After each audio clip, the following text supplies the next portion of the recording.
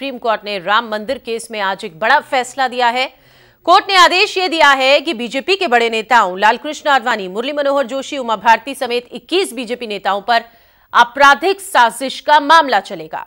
Court ने यह भी कहा है कि इस मामले में चल रहे दो अलग अलग मामलों को क्लब कर दिया जाए और रायबरेली में चल रहा मामला लखनऊ में ही चलेगा।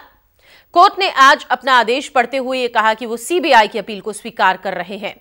और सीबीआई ने कोर्ट से ये मांग की थी कि बीजेपी नेताओं समेत अन्य आरोपियों के खिलाफ आपराधिक साजिश का मामला जोड़ा जाए। जहाँ तक कल्याण सिंह का सवाल है, क्योंकि वो गवर्नर है, इसलिए जब तक वो गवर्नर है, उन पर मुकदमा नहीं चल सकता है। इसके साथ ही सुप्रीम कोर्ट ने यह भी कहा कि मामले की प्रतिदिन सुनवाई होगी और केस किसी जज को ट्रांसफ़र नहीं होगा।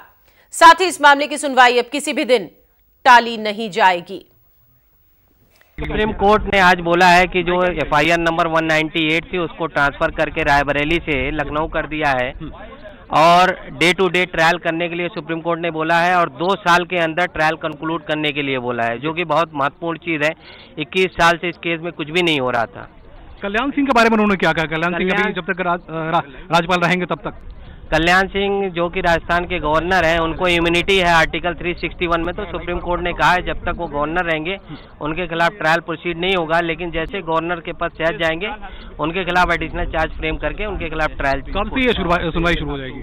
चार हफ़्ते का समय दिया है एडिशनल चार्ज 120 बी का फ्रेम करने के लिए। इनके